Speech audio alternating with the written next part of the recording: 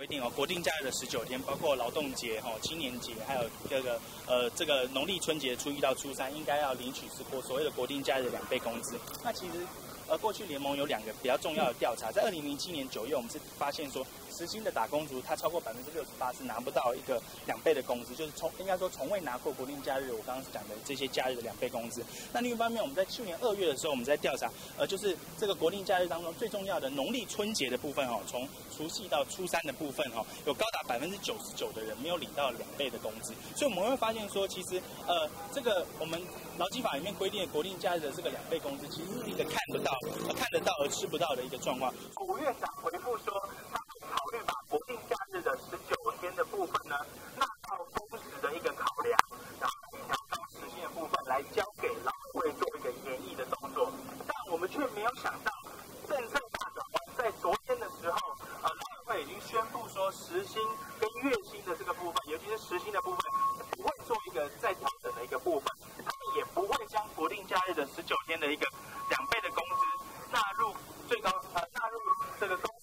时薪工作者的这个工时。的一个考量的一个基准，所以我们在这边会感到非常非常的遗憾哈。行政院跟劳委会哈去研议将国定假日和平均退休日的问题纳入基本月薪的计算，随着基本工资的调高，时薪应该调高到一百一十二元。那另外一方面，我们针对全国雇主是否有针对劳动法给予部分工时的劳工病假、生理假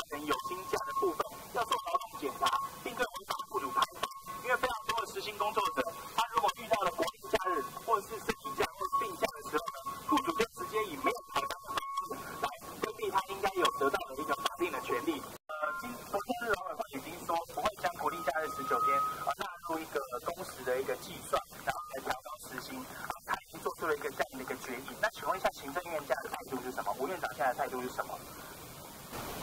这个我你们的意见我们会帮你们好，然后所以。所以吴敦义院长对这件事情还没有任何态度吗？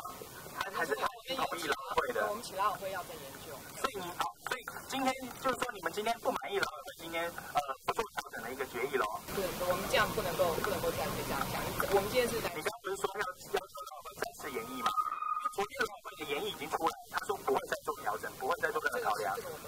你们不清楚？哎，各位各位朋友，昨天劳委会我们学院我们学主委对媒体已经说他不研议，然后你说你不知道，你说行政院不知道。我们我们估计今天没有办法在那边做任何回应，我们来接受你的澄清，你的澄清意见我们会转达。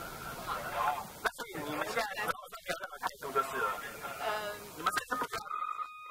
会要审慎的演绎。那行政院你现在看，昨天老师已经演绎出来了，那我现在问行政院他们是什么？你作